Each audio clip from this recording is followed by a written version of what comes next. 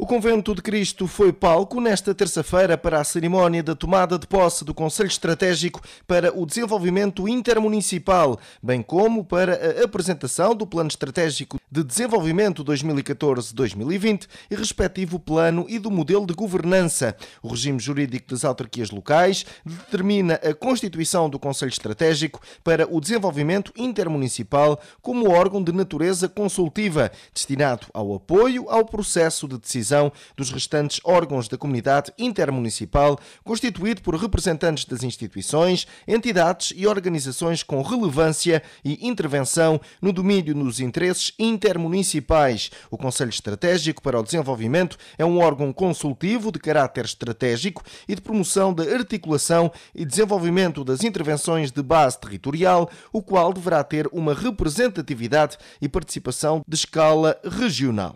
Boa tarde a todos. Em nome da Comunidade Intermunicipal do Médio Tejo, vamos dar início à cerimónia de tomada de posse do Conselho Estratégico para o Desenvolvimento Intermunicipal e apresentação do Plano Estratégico de Desenvolvimento do Médio Tejo 2014-2020, apresentação preliminar do plano e do modelo de governança.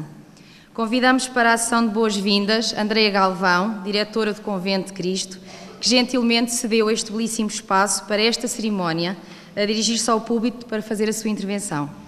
Boa tarde a todos. Uh, excelentíssima Senhora Presidente da Câmara de Tomar, doutora Anabela Freitas, Excelentíssima Senhora Presidente da CIMT, doutora Maria do Céu Albuquerque, uh, diríssimos uh, deputados, vereadores e autarcas, demais autarcas aqui presentes, e restantes entidades civis e militares. Minhas senhoras e meus senhores. Também relativamente às oportunidades eh, que este emergente, vasto e riquíssimo potencial da região nos pode oferecer, ehm, só se, se podem criar e alicerçar, alicerçando-se em redes e parcerias certas, adequadas, proativas, não só numa correta aplicação dos fundos, como seria evidente, como com vista evidentemente à sustentabilidade e ao desenvolvimento da região, mas obviamente também com uh, os olhos postos no horizonte 2020. Mas dir-vos-ia, e pode-vos parecer estranho numa diretora de um monumento, que o património são as pessoas. E por isso, muitas vezes, se afirma que o património somos nós, eh, pois sem as pessoas nada se faz, e as pessoas que são pessoas são a nossa comunidade, somos nós, de uma forma ou de outra, pelas opções de vida, nos encontramos aqui, à frente de algum dos destinos e algum daquilo que podemos fazer pelo melhor futuro dessas pessoas, logo, deste nosso património. Também é para as pessoas e para elas, eh, obviamente, este território da região, e eh, aqui, obviamente, o Convento de Cristo, como todos sabemos, eh, é esse inesgotável, inesgotável complexo monumental, património da humanidade, que todos também sabemos que, obviamente, é a alavanca da região, que todos também sabemos uh, cuja função é, como a sua função é nodal e polarizadora e agregadora de todo este vasto património da região, mas é, na realidade, um motor de desenvolvimento na sua acessão até mais estrita, mas não menos importante, que é a vertente turístico-cultural. Assim sendo, reforço aqui hoje convosco o que afirmei dias atrás na minha posse, que uma das metas deste, minha, deste meu mandato é contribuir para que este monumento único reforce o seu papel como âncora desta região, pois a estratégia do seu reforço com, com, com essa âncora, na sua relação umbilical com a cidade, um, onde, enfim, evidentemente, a autarquia de Tomar inteligentemente entendeu também esta inevitável uh, uh, relação e, e, nisso se encontra, nos encontramos a trabalhar. Uh, e, de facto, enfim, digamos, como meta ambiciosa também, será desejável, de facto, que possamos, enfim, de futuro, enfim, em termos de, de, de construção uh, deste monumento, uh, que ele seja, uh, ou ambicionamos que ele possa ser um dos primeiros destinos de cultura e do turismo mais procurados do país, ou mesmo do mundo, o que também pode parecer muito ambicioso, mas penso que se em todos, em sinergia, em convergência, obviamente, e se de alguma maneira uh, houver aqui, de facto, um encontro de estratégias, quer do Convento de Cristo, quer da região, quer de toda a região, eu penso que será possível. Por isso, uh, deixo-vos aqui, enfim, uh, o desejo de uh, um excelente trabalho e, e vos digo, por, por, último, que conto convosco. Sei que provavelmente poderão também contar comigo, quer com a minha experiência profissional, quer como diretora do Convento de Cristo e deste monumento, nos meus melhores empenhos e contributos para que estas estratégias se encontrem. Muito obrigada. Convido agora Anabela Freitas, Presidente da Câmara Municipal de Tomar, anfitriã desta cidade, de igual modo a dirigir-se ao púlpito. Bem-vindos a Tomar, sede da comunidade intermunicipal, para a tomada de posse do Conselho Estratégico para o Desenvolvimento Intermunicipal.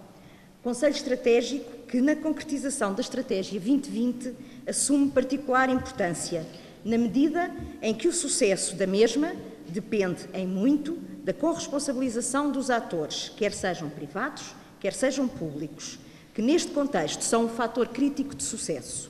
De facto, a concretização de uma estratégia de desenvolvimento pressupõe não só um compromisso de médio e longo prazo em torno de uma visão de futuro e de um plano de ação, mas também um processo de participação social, de gestão e governação transparentes e claras sobre as diferentes responsabilidades funções de gestão, recursos a mobilizar e resultados a alcançar partilhados pelos diferentes stakeholders.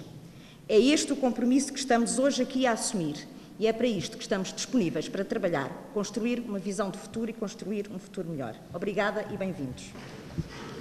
Concluídas as boas-vindas, passo a palavra a Maria do Céu Albuquerque, Presidente do Conselho Intermunicipal da Comunidade Intermunicipal do Médio Tejo, a quem peço que se dirija aqui a este púlpito. Queria, queria dizer que para nós é sempre um privilégio poder contar com novos autarcas, mas poder contar também com a experiência dos autarcas que deram muito a esta casa, nomeadamente o António Rodrigues, que foi Presidente deste órgão durante bastante tempo.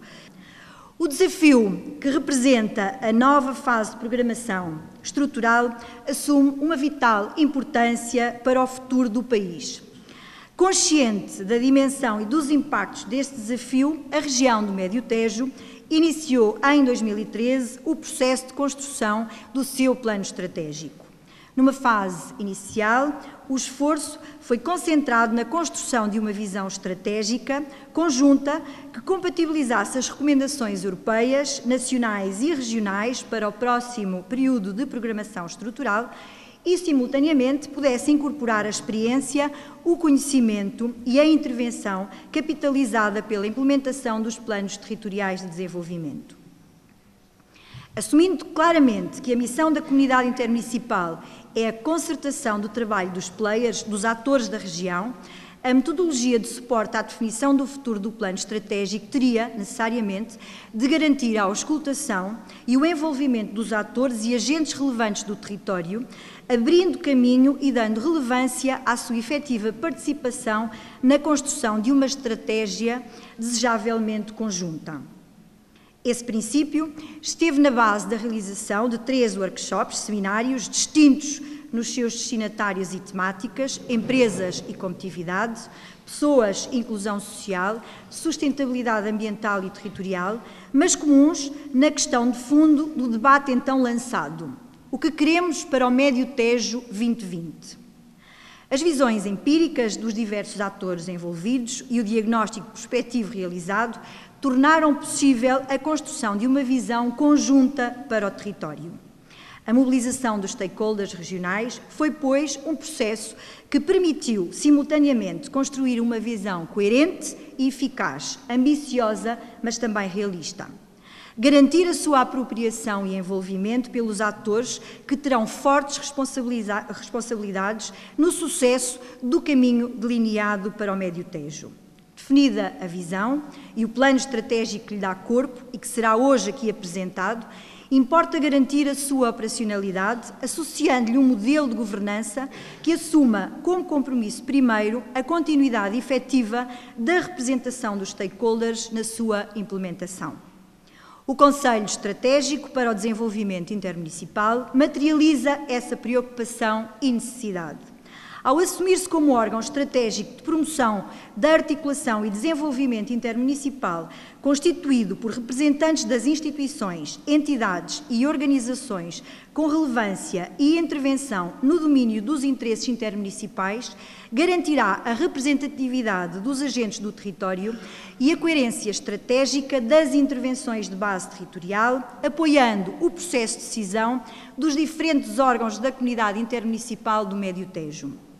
São 40 as entidades representadas no Conselho Estratégico para o Desenvolvimento Intermunicipal, públicas e privadas, dos vários quadrantes e domínios de interesse e relevância, da educação à saúde, da intervenção social à cultura, do desenvolvimento local à sustentabilidade ambiental, das forças de segurança à proteção civil, do emprego e formação profissional ao empreendedorismo, do ordenamento do território ao turismo, da competitividade e inovação à ciência e tecnologia.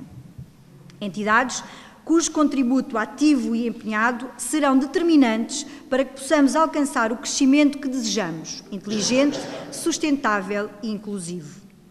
A intervenção do Conselho Estratégico para o Desenvolvimento Intermunicipal encontrará suporte para a operacionalização da sua missão na Comissão de Acompanhamento que assegurará a execução, coordenação e controle dos mecanismos de acompanhamento e monitorização das intervenções de base territorial sob coordenação do Secretariado Executivo Intermunicipal.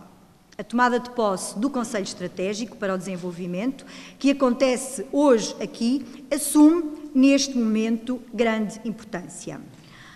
Porque inicia e corporiza uma nova, importantíssima etapa para a região do Médio Tejo, que corresponde à operacionalização das prioridades de desenvolvimento e principais iniciativas e projetos a concretizar no Horizonte 2020. Representa um ponto de partida e não um ponto de chegada. Um ponto de partida relativamente ao qual existem ainda muitas incertezas.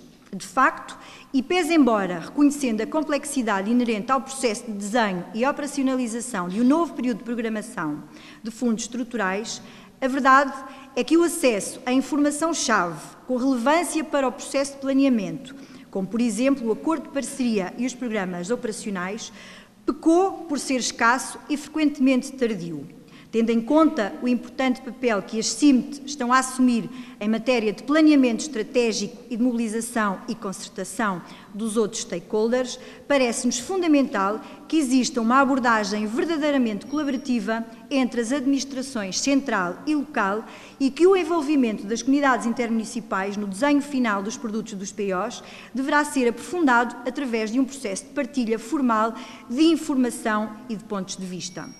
Aliás, uma abordagem muito semelhante àquela que foi feita pela CCDR do Centro, a quem, na pessoa de seu presidente, o professor Pedro Saraiva, gostaríamos aqui publicamente deixar o nosso reconhecimento pelo empenho e pela forma participada como foi conduzido o processo de planeamento da Estratégia 2020 para a região centro. Muito obrigada, professor, também por este envolvimento da comunidade intermunicipal que o senhor e a sua equipa assumiu desde o primeiro momento e permitam-me também que deixe aqui o reconhecimento porque, pese embora a comunidade intermunicipal do Médio Tejo esteja na região centro há muito pouco tempo, sentimos-nos em casa. Temos, por parte do professor Pedro Saraiva e da sua equipa, um tratamento uh, igual àquele que as outras regiões com quem aquela CCDR trabalha desde sempre. E, portanto, professor, permita-me que lhe faça aqui publicamente um agradecimento e um reconhecimento por este trabalho que conosco uh, fez. Também a magnitude do corte que os recursos mobilizáveis pelos municípios virão a registrar no novo período de programação constitui motivo de forte preocupação. Também, por essa razão, será desejável aprofundar as práticas colaborativas entre as administrações, de modo a alcançar um referencial de programação mais equilibrado, justo e que seja execuível. As orientações comunitárias para o próximo período de programação de fundos estruturais são muito claras ao incentivar o recurso às designadas abordagens territoriais integradas, consagrando para o efeito uma apreciável diversidade de instrumentos de operacionalização. Muito embora o acordo de parceria assuma formalmente estas orientações, considera-se que as mesmas carecem ainda de um grau adequado de explicitação dos seus termos concretos para serem operacionalizáveis. Face ao que já referimos relativamente ao papel da comunidade intermunicipal e das comunidades intermunicipais, têm vindo a assumir estas mesmas, junto dos municípios e dos restantes stakeholders, um papel inequívoco mas que a incerteza que daqui decorre para os processos de planeamento estratégico em curso atua como fator limitante para os níveis de envolvimento e compromisso que tem sido possível obter. Na prática, é preciso reconhecer que a elaboração de planos sem o conhecimento objetivo sobre os instrumentos e recursos que os permitirão colocar no terreno está a condicionar o seu alcance, mesmo sabendo que após os planos estratégicos existirá forçosamente uma segunda vaga de exercícios de planeamento com caráter mais operacional. Sem prejuízo deste facto, o que é importante neste momento é fornecer às comunidades intermunicipais e aos restantes stakeholders informação mais precisa, mesmo que sem o detalhe final, sobre o conjunto de instrumentos que virão efetivamente a ser disponibilizados, bem como sobre os incentivos que associarão ao reforço de práticas de cooperação e trabalho em rede, ou dito de outra forma, da condicionalidade que este tipo de práticas tenderá a assumir no acesso aos fundos. É, pois, com grande interesse e expectativa que se olha para o potencial e se aguarda nova informação sobre instrumentos como os investimentos territoriais integrados, as ITIs, os, de desenvolvimento local de base comunitária, os pactos territoriais para a empregabilidade, as redes locais de intervenção social ou os contratos locais de desenvolvimento social. Na ótica mais particular, mas não menos relevante, dos municípios, é importante sinalizar desde já que a falta de definições mais concretas em relação a estes instrumentos suscita preocupações de natureza muito diversa. A título meramente exemplificativo, interessa assinalar que a complexidade que se antevê para os futuros investimentos territoriais integrados, as ITIs de base subregional, inclusive é por meio ou por via do processo de decisão conducente à sua aprovação, não permite acalentar grandes esperanças sobre a possibilidade dos mesmos poderem eh, estar plenamente operacionais ainda em 2014 ou mesmo no primeiro semestre de 2015. Em bom rigor, também esperamos que este tempo sirva para as coisas estarem mais consolidadas e, por isso, mais facilmente depois tornadas operacionais. Esta é uma situação que se afigura particularmente gravosa, porque paralisante da ação dos municípios, designadamente pelo facto de uma parcela muito relevante das tipologias de intervenção a cargo destas entidades poder vir a ser condicionada pela contratualização dos referidos investimentos territoriais integrados. A indefinição que caracteriza o modelo de governação das ITIs é também um fator de incerteza que importará superar tão rapidamente quanto possível. Por último, uma referência às tipologias de investimento previstas, que representam, em nossa opinião, um corte uh, uh, abrupto no investimento em áreas onde ainda há muito para fazer as chamadas prioridades negativas, as infraestruturas escolares, as infraestruturas de transportes, as infraestruturas de acolhimento empresarial. Também na área da regeneração urbana suscita particular preocupação. De facto, e contrariamente àquilo que é veiculado e que era expectável e até defensável, esta é uma área que aparenta estar a ser tratada como um parente pobre no âmbito do acordo de parceria e dos seus programas operacionais a grande dispersão das janelas de financiamento que se vislumbram e a reduzida dotação financeira que lhes parece estar associada deveria justificar uma revisão profunda das orientações neste domínio. Se é verdade que importa neste novo quadro estrutural conferir especial relevância aos investimentos e materiais que potenciem e configuram dinâmicas às infraestruturas construídas, existe ainda uma absoluta necessidade de alguns domínios serem realizados investimentos materiais que se consideram fundamentais para o suporte do crescimento económico e para a implementação de uma estratégia de crescimento inteligente alinhada com os Objetivos 2020.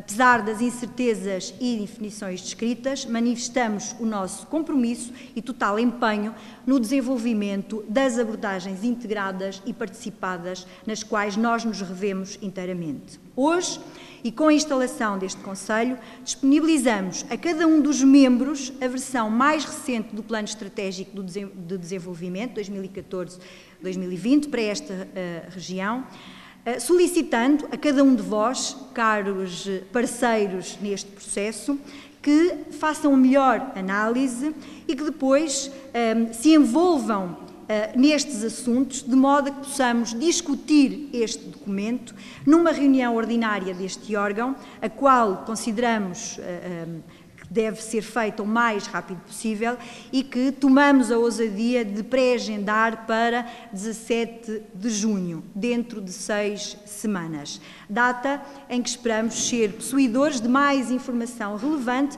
para este período de programação. De igual modo, amanhã mesmo vamos disponibilizar no sítio e no Facebook também da Comunidade Intermunicipal do Médio Tejo uma versão mais leve e resumida deste plano, de forma a podermos propiciar uma maior participação, seja de entidades coletivas, seja de cidadãos a título individual interessados no desenvolvimento da nossa região. De uma coisa estamos perfeitamente eh, conscientes. Podemos definir a melhor e a mais interessante estratégia mas o nosso êxito enquanto território não se determinará apenas pelo seu conteúdo, mas também pela valorização que conseguirmos dar à participação e pela concertação regional efetiva que viermos a atingir no futuro próximo, reconhecendo que estamos perante uma rede complexa que necessariamente terá implicações no modelo de governação. Por isso, estamos aqui hoje. Termino citando Maria de Lourdes Pintacilgo, uma mulher também desta região, que, diz, que disse, que deixou escrito, se queremos um futuro melhor, o futuro começa hoje e está nas nossas mãos. Fundamentalmente eh, para ter a vossa atenção durante uns breves minutos. A minha função aqui é uma função científica e técnica, profissional. Eh, a estratégia desta região é a estratégia da região, é aquilo que a região eh, entende como o que deve ser feito e eh, o conjunto de instrumentos de conhecimento sobre o potencial, o estado, os problemas, os desequilíbrios da região, eh, sobre a força que ela tem do ponto de vista de levar à prática um conjunto de realidades que são essenciais para fazer desenvolvimento económico e social, eh, são matérias que configuram na prática esta visão e este instrumento como um guia para a ação, aberto. Não mais do que isso é algo que, eh, que tem que ser dado vida eh, pela concretização de um conjunto essencial de projetos. Eh, o, o que foi feito, a Sra. Presidente da, da Comunidade Intermunicipal já destacou o, todo o processo de trabalho. Foi prestada muita atenção às lições da experiência. Esta região não nasceu agora. Tem uma experiência de desenvolvimento económico e social que valia a pena avaliar Vale sempre a pena tentar perceber se não há uma maneira melhor de fazer, se não há uma outra visão que podemos dar uh, a um conjunto de coisas que são fundamentais. E colocamos sempre no, no coração do trabalho aquilo que uh, vos traz aqui hoje, que é corresponder à orientação comunitária de que uh, precisamos de um território, de uma estratégia e de uma direção participada, plural eh, da aplicação dessa estratégia. E, portanto, não é a menor das coisas, é, aliás, a maior das coisas, o modelo de governança para levar à prática esta ambição. E as orientações comunitárias são muito claras, não é um modelo de governança público, não é um modelo de governança social, não é um modelo de governança privado, é um modelo de governança que junta estas três realidades que são fundamentais. Uma sociedade e aquilo que deu a polis e o oikos, como sabem, tudo isto se transformou ao longo dos séculos, e é um pouco isso eh, que foi aqui colocado desde o princípio. Normalmente, nós ficamos com documentos muito bonitos, só falta eh, saber levá-los à prática, só falta saber o que é que cada um de nós deve fazer, só falta identificar as responsabilidades de cada um de nós. E, portanto, foi isso que se tentou. Cá estão algumas fotografias das realidades, uma orientação comunitária eh, muito clara, desafiante, é? crescimento sustentável, inclusivo eh, e inteligente, muito interessante, são palavras muito interessantes. Dar-lhe vida é um pouco mais difícil, um pouco mais complexo. Está feita essa recordatória. E a visão para o Médio Tejo 2020 tem muito que ver com a ideia de um desenvolvimento a partir de dentro. Não um desenvolvimento para dentro. Nenhuma região eh, fará qualquer coisa de bem feito olhando para o seu umbigo, mas nenhuma região fará nada sustentável sendo governada de fora, adaptando-se ao que existe fora dela. E, portanto, o modelo, a visão, é um modelo de um desenvolvimento a partir de dentro, a partir dos recursos endógenos que são, aqui, felizmente, largamente abundantes e visíveis, a começar, como já foi dito, pelo espaço que nos acolhe.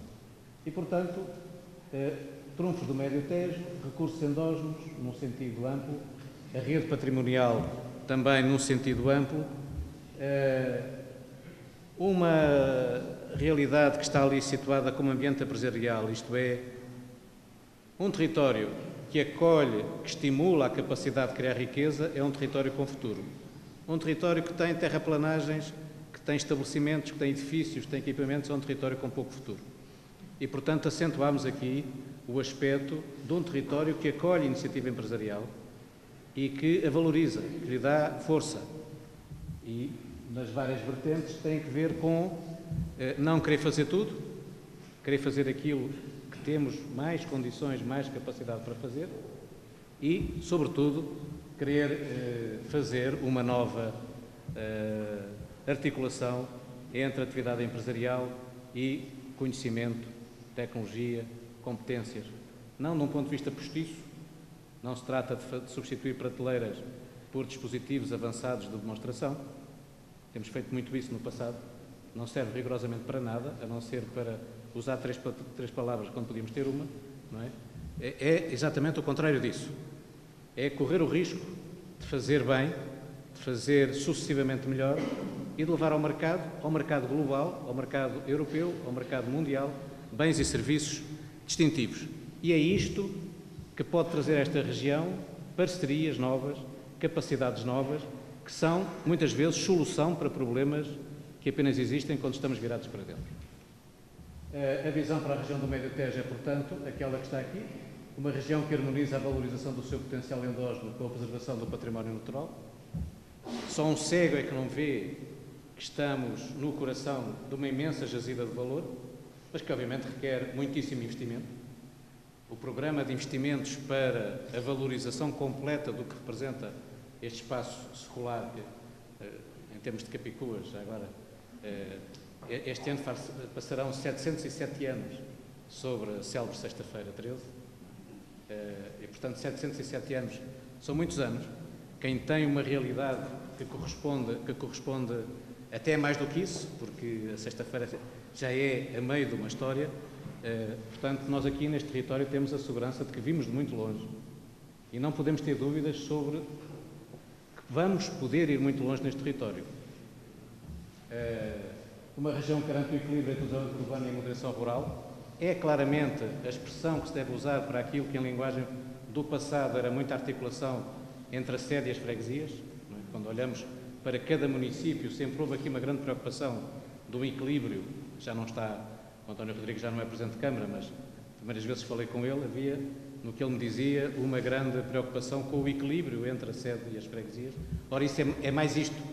Portanto, há maior ambição naquilo que agora passa para a visão uh, do território. Uma região que promove a aquisição de competências e capacidades em prol da diferenciação social e empresarial. Isto é absolutamente decisivo.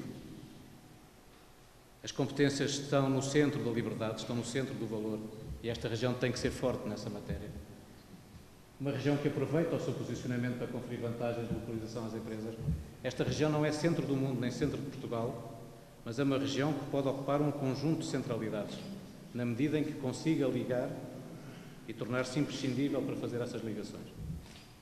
Claro que se eu fizer uma lupa sobre o entroncamento da A1 com a A23, eu tenho ali uma espécie de centralidade.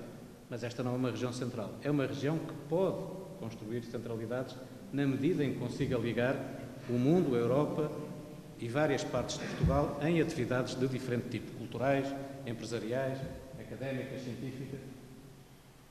Uma região que estimula uma plena viragem para a internacionalização é uma visão desafiante. É muito mais fácil uh, uma viagem de 20 km ou de 40 km do que uma viagem de 5 mil km. Mas é essa que nós temos que fazer em Portugal, uma viagem para uma maior participação na internacionalização e uma região que rentabiliza os investimentos que realiza. Este é um aspecto muito importante. Esta, a visão que está aqui é a visão de uma, de uma região e, portanto, de um governo eficaz que se arroga, de alguma maneira, o direito de transformar toda a despesa que faz em investimento, porque é despesa com retorno, porque é despesa bem feita. Isto é importantíssimo, não para ficarmos a deixar de fazer o que devíamos fazer porque o país está em dificuldades, mas a fazer bem o que deve ser feito porque o país está em dificuldades, que é uma coisa completamente diferente. Portanto, esta é a visão, médio TES 2020, cinco grandes orientações. Surgiu, por acaso, uma cabalística de 40, 40 objetivos específicos, 40 projetos emblemáticos, eh, muitas coisas com 40, enfim, pode ser completamente desequilibrado. Eu só gostava, tenho a função de vos apresentar, chamar a atenção para este, é a lógica das abordagens de desenvolvimento territorial integrado numa lógica completa. Há várias maneiras de o fazer. E eh, deixem-me, um bocadinho de arrogância, talvez, usar o privilégio que me dão de falar nesta cerimónia, representando apenas uma função auxiliar de suporte à decisão de quem verdadeiramente tem poder nesta região para decidir, mas chamar a atenção para que eh, estas, estas matérias que aqui estão correspondem muitas vezes a uma confusão que se faz em Portugal Aqui deixem-me usar o inglês para ser mais explícito. Nós temos alguma capacidade em Portugal, para não dizer muita, de saber o que deve ser feito. Em inglês, do the right thing.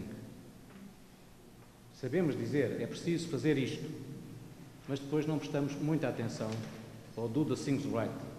Isto é, sabemos escolher objetivos, mas perdemos bastante tempo ou nem sequer gastamos tempo a discutir como é que devemos fazer as coisas. E, portanto, esta lógica entre uma visão e uma estratégia, entre uma estratégia e um plano de ação, é ligar o acerto da escolha dos objetivos com a garantia de que vamos poder ter sucesso porque nos organizamos para fazer pontos e não para fazer outra coisa qualquer, ser a pontos que devemos fazer. E pontos é preciso engenheiros. E não boa vontade ou leis ou despachos. Também são precisos. Portanto, nós muitas vezes confundimos os processos de desenvolvimento territorial com eh, apenas a escolha das prioridades. Isso é absolutamente fundamental, mas este documento, aquilo que é apresentado, aquilo que é o esforço desta região, tem muito eh, de inovação e tem muito de risco.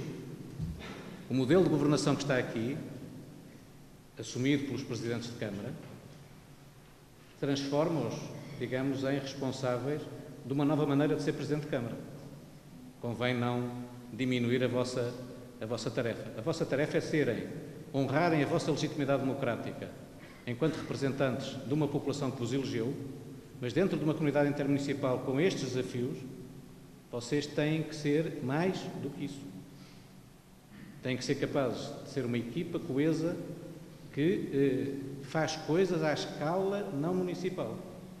E faz coisas à escala municipal que derivam de escolhas que fizeram à escala intermunicipal. E isso, creio que, como testemunha que posso ser, nas reuniões de trabalho que tive com os presidentes de Câmara, acho que esta região tem capacidades para fazer isto. Cinco orientações estratégicas, seis programas temáticos, tem aqui a exemplificação. Claro, o acordo de parceria não está pronto.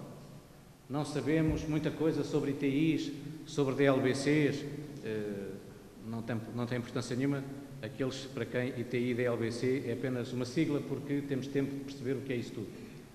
Mas grande, o grande desafio que está aqui é poder ter finalmente em Portugal estratégias de desenvolvimento descentralizadas, que não são imitativas. O Médio Tejo tem pouco que ver com Lisboa, tem pouco que ver com a área metropolitana do Porto, tem pouco que ver com o Douro, mas tem recursos, capacidades, objetivos, desequilíbrios, oportunidades que lhe dão a possibilidade de ter uma estratégia própria, partilhada pela comunidade, pelas instituições eh, públicas, pelas empresas, pela, pela sociedade civil e, obviamente, se percebe a importância de deixar de haver uma lógica de desconfiança entre o setor público e o setor privado, entre o privado e o social. Este modelo de governança, esta cerimónia de hoje, é a semente para passarmos a confiar uh, muito mais uns nos outros, para perceber que um território que não cuida das empresas é um território sem futuro.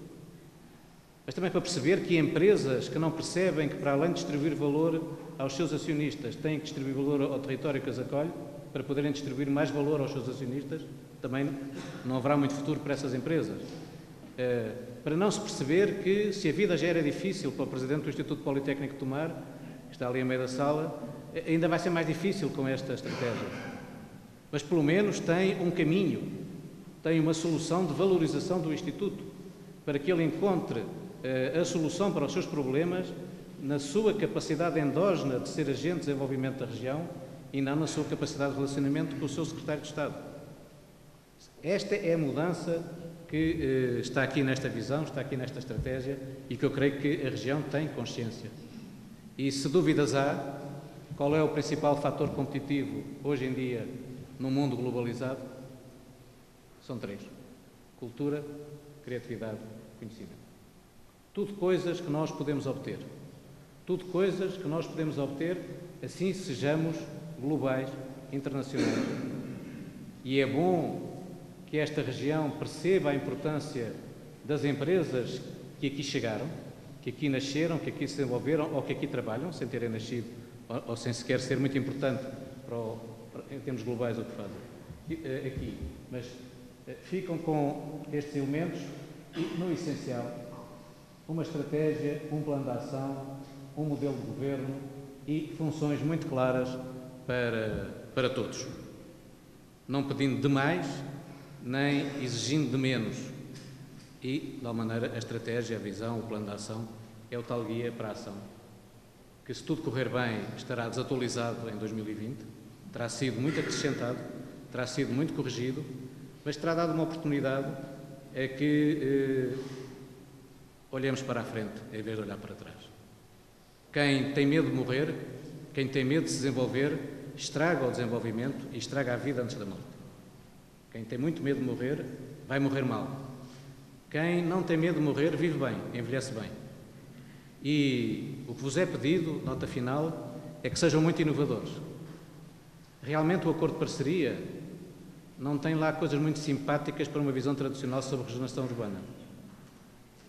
Mas tem muitas coisas sobre inclusão social. Um dos principais problemas da Europa e de Portugal é o envelhecimento da população. O envelhecimento da população não pode ser considerado como um custo.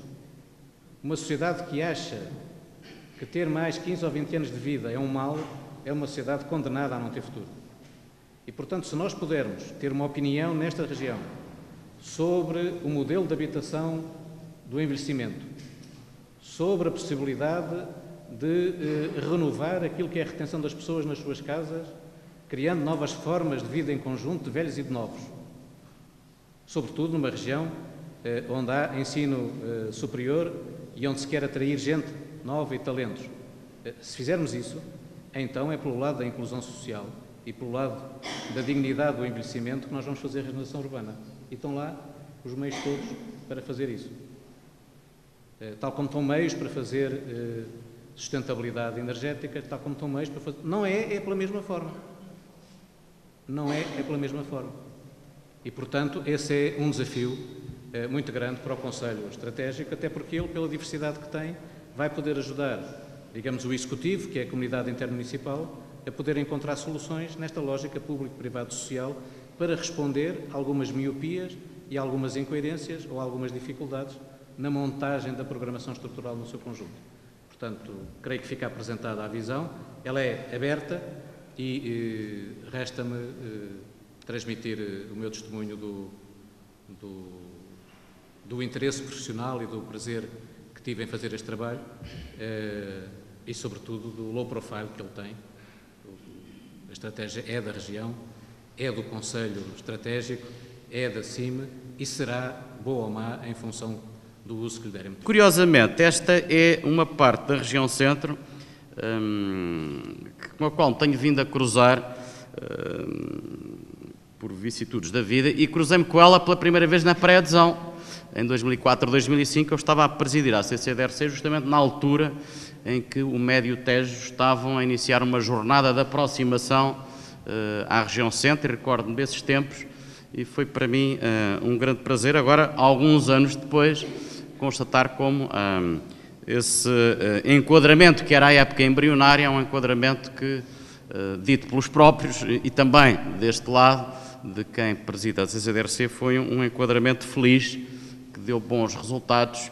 Um, e eu já não consigo visualizar a região centro sem o Médio Tejo e sem o Oeste, de facto.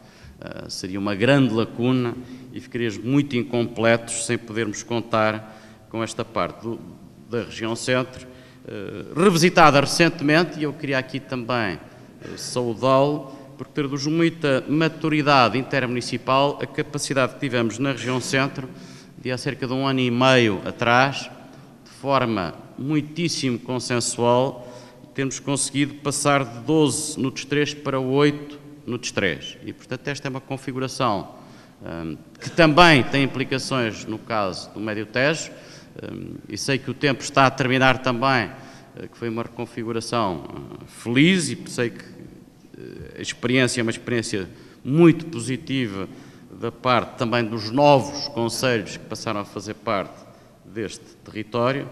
Tivemos várias reuniões sobre o tema. Ah, lembro deste dossiê ter ficado fechado no Ministério da Economia, foi a quarta reunião onde finalmente houve fumo branco, ah, mas ainda bem que o houve ah, e que conseguimos ter oito NUTs 3, ah, todas elas, eu diria, com ingredientes suficientes para enfrentar os desafios que temos pela frente para 2014, 2020, incluindo a circunstância de todas as nossas NUTs 3 terem no seu próprio território ensino superior, eh, com algum significado, eh, porque acho que pensar futuro não percebendo a vantagem que é ter ensino superior dentro do seu próprio espaço é ter alguma miopia. É claro que eu posso não o ter aqui e estabelecer parcerias com quem não está cá, mas é diferente, apesar de tudo, e portanto saúde também a circunstância de termos aqui o Politécnico do Mar presente e também agora com responsabilidades acrescidas, é um Politécnico eh, que me diz muito também, por razões várias. Teve a gentileza também de convidar para uma oração de sapiência, que eu recordo com, com grande hum, saudade. Foi uma experiência muito enriquecedora, pelo menos do meu ponto de vista. Espero que para o Politécnico também não tenha sido uma má experiência.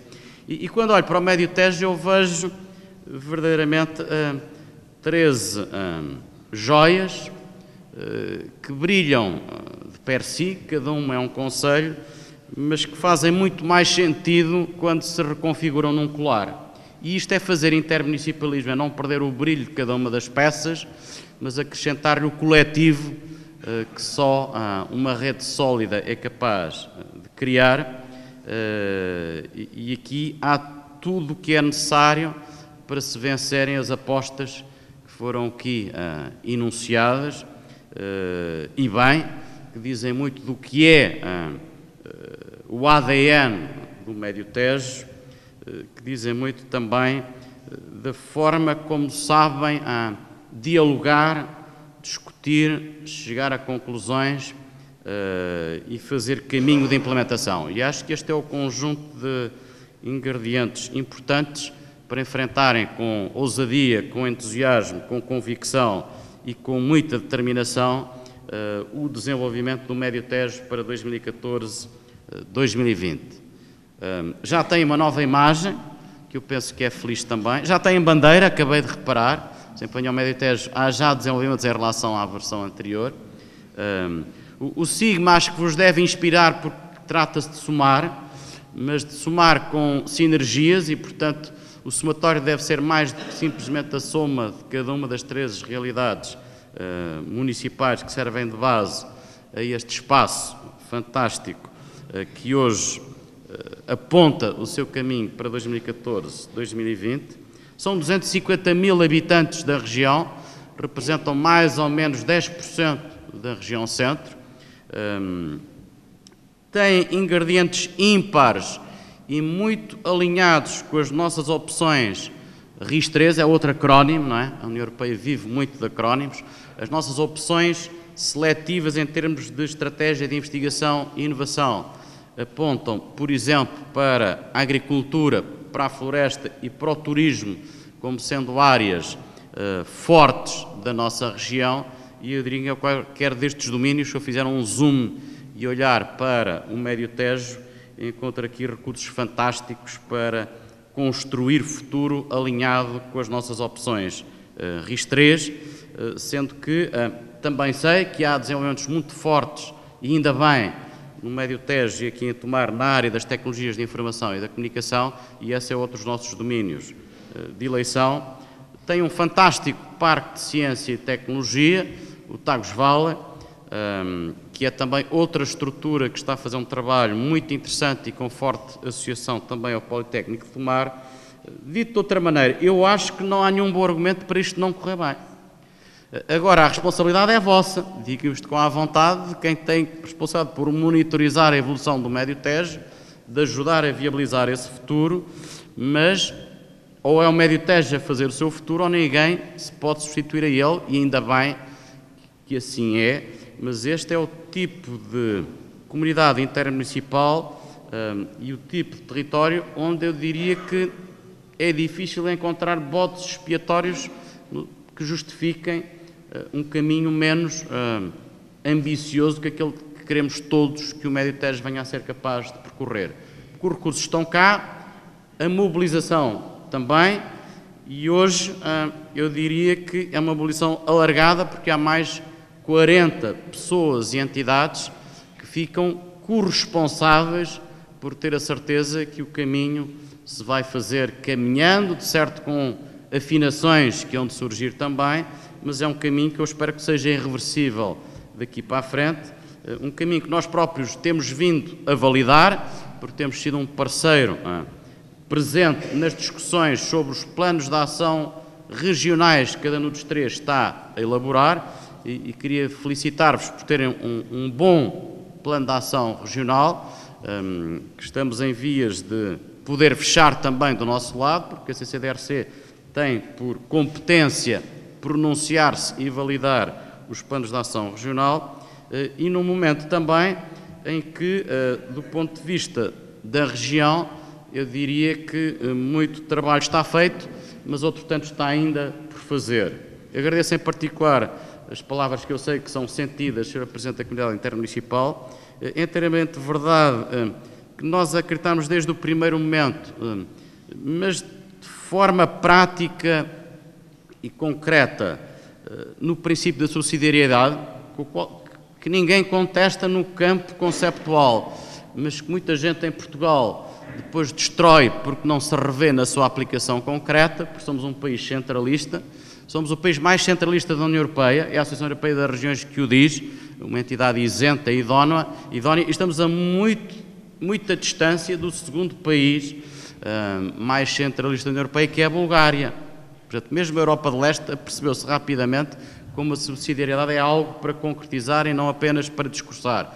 E, portanto, todos uh, os países uh, implementam melhor a subsidiariedade do que Portugal nós achamos que ouvindo os cidadãos, ouvindo os agentes a múltiplos níveis que se tomam as melhores decisões e por isso o nosso trabalho de planeamento da região assentou num diálogo muito intenso, traduzido em três documentos que estão disponíveis para consulta no portal da CCDRC, o nosso plano de ação regional, que digamos que é o equivalente para a região centro daquilo que hoje foi apresentado, que é o plano de ação para o Médio Tejo, o programa operacional regional, já foi formalmente entregue à Comissão Europeia, aguarda agora eh, que circule entre os vários serviços desta mesma Comissão Europeia para termos uh, alguns ecos e algumas reações vindas uh, de Bruxelas.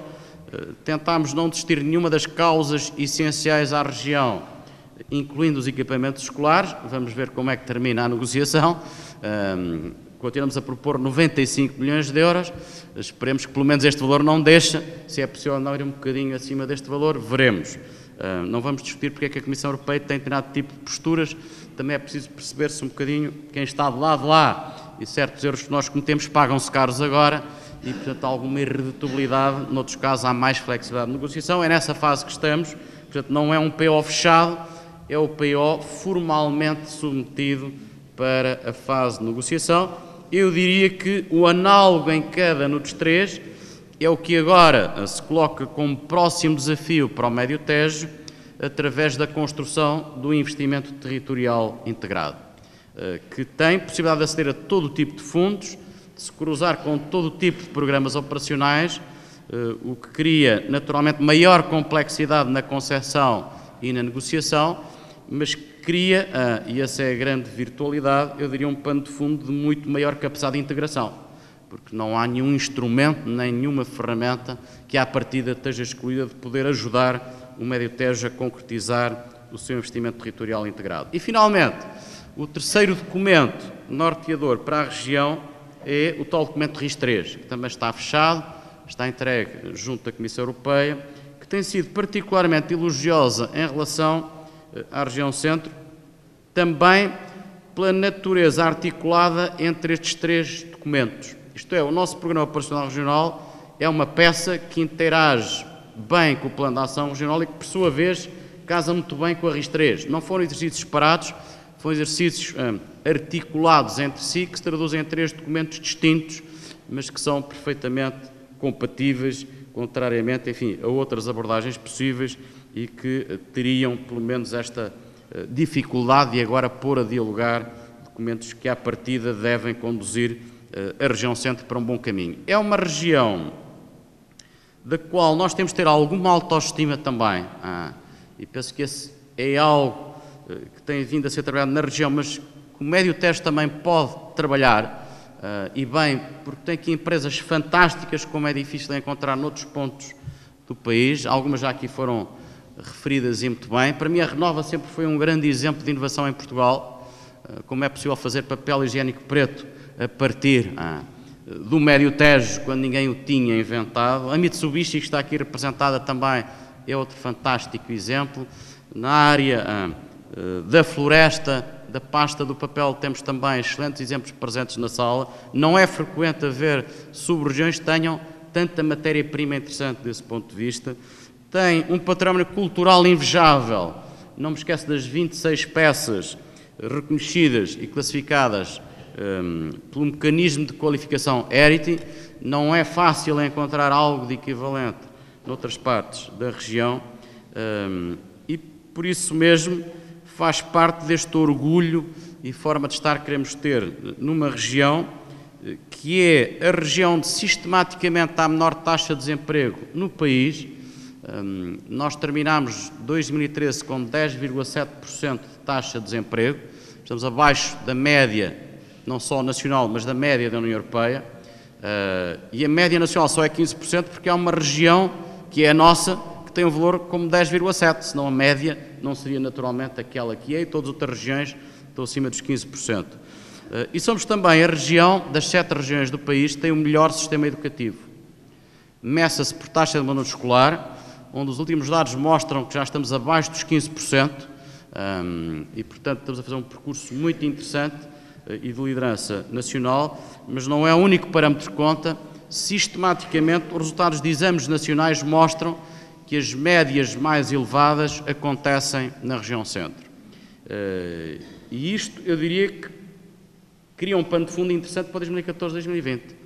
Uma região que trabalha bem o seu sistema educativo, que na área da inovação é a segunda região mais inovadora do país, a seguir a Lisboa, que tem um conjunto de empresas fortemente exportadoras, uh, tem tudo o que é necessário para estar na linha da frente das prioridades do desenvolvimento para 2014-2020 e que já foram aqui referidas um, e que nós reinterpretamos, incluindo um, a designação que demos ao próprio Programa Operacional Regional, que se chama Querer 2020. Num duplo sentido, acreditamos muito nesta região um, e acreditamos que esse futuro passa por construção, acima de tudo, de competitividade, mas não é qualquer tipo de competitividade que nos interessa, é uma competitividade responsável, estruturante e resiliente, e daí o acrónimo conduz a Querer 2020.